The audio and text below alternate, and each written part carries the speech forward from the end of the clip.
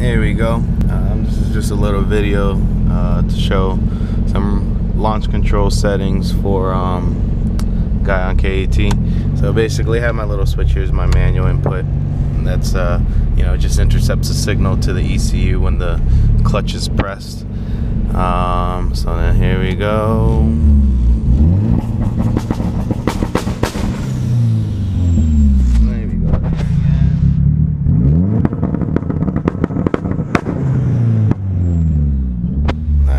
So there we go. So now in the tuner boost, TunerStudio settings, go to boost, launch control, and these are my settings here. Uh, you see it. So basically, I have launch flat shift because I like the flat shift.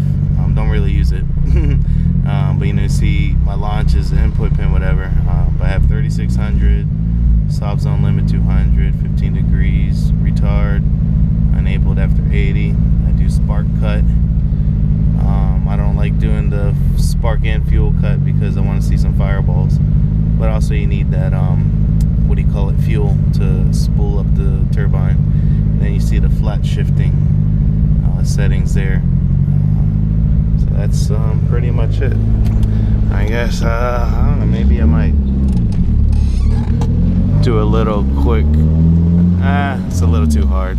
I was gonna think about doing like a second gear flat shift, but ah, no big deal. Let me see. Basically, if I'm driving,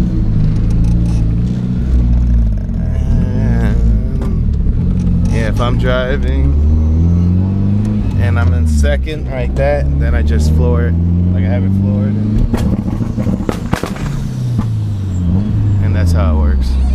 But you know, it's only between shifts, so that shit will uh, stay spooled. But all right, I hope that works for you, Matt. All right, thanks.